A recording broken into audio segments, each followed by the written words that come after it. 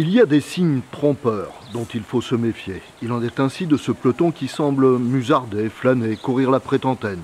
Enfin, ce que vous souhaitez. En fait, après 50 km de folie, d'attaque incessante, ces coureurs s'accordent un moment de répit sur cette étape longue de 169 km vers Radenac.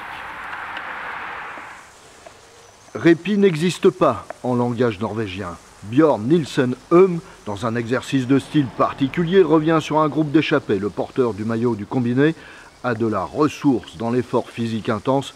Nous sommes tout simplement admiratifs.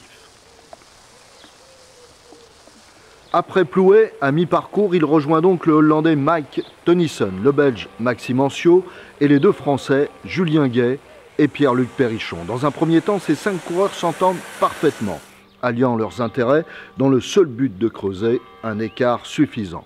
Il ne le sera pas, malgré plus de trois minutes en leur faveur, le peloton, fournisseur de sprinteurs, reviendra sur les échappées.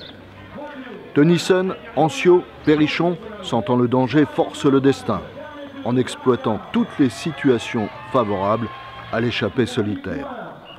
Il n'y en aura pas, c'est un peloton compact qui se présente dans l'ultime ligne droite, sprint parfait du Norvégien Daniel Ulgart, qui s'impose devant Thomas Bouda et le Belge Jorne Carolus.